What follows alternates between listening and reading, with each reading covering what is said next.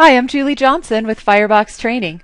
Today I'm going to show you just how easy it is to create a JSF application using Oracle JDeveloper.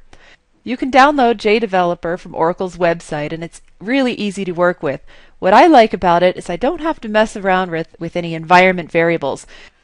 What we're going to do here is just create a new application and we'll call this my JSF app 1 and we'll make this a generic application and then later add the necessary libraries. So we'll just hit finish right here, kill off this window, and you'll see that we have an empty project. If I right click on my project and say new JSF, I can create a new JSF page right here. I'm going to call my page page 1 now, one thing to be aware of, if I say blank page, it's just going to give us the necessary JSF and HTML libraries. If I say quick start layout, it's going to include Oracle ADF libraries, and that might not be what you want. So let's just stick with blank page. Okay, so here's our page right here. Just to demonstrate or just to prove that we are where we are uh, during runtime, we're going to just slap an output text on there and just say page one. Of course, in the real world, you'd want to make this a little bit prettier, but this is just showing the functionality here. Now we're going to create another web page. We'll call it page 2. Okay, and we're going to put an output text right there. Whoops, I accidentally added two. There we go. Okay, so there we have our two pages. Now you'll see that when we created our JSF page, it automatically created the WebXML file and the Faces config file for us in the proper location. The Faces config file contains all the necessary XML. You'll see that this is an XML document. That includes navigation, among other things. So what we're going to do, instead of dragging a JSF page right here, we're going to drag it from over here since those pages already exist. And we're going to define how to get from page 1 to page 2. We do that through a JSF navigation case. So from here to here, and we'll say here, go to 2. That is the string outcome.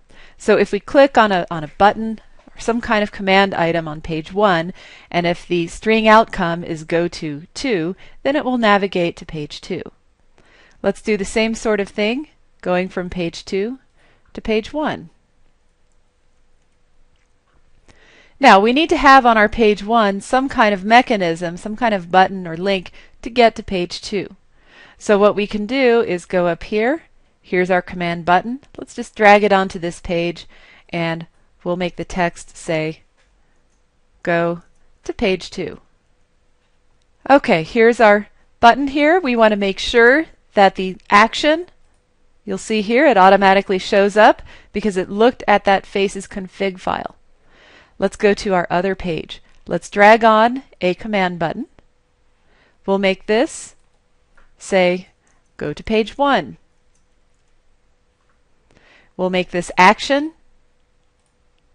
go there.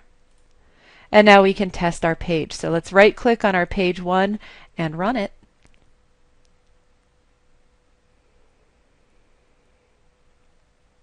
Okay, here's our page 1. Now we're at page 2. And now we're at page 1 again, so everything's working just fine. Now, if you needed to have any helper Java beans, they would go under application sources if you're working with, you know, the view layer. Remember, JSF uses model view controller architecture, so if you needed to have any kind of business logic, it would be in a separate project for the model. In other words, you would go File New, you would create a new, where are our projects? Right here.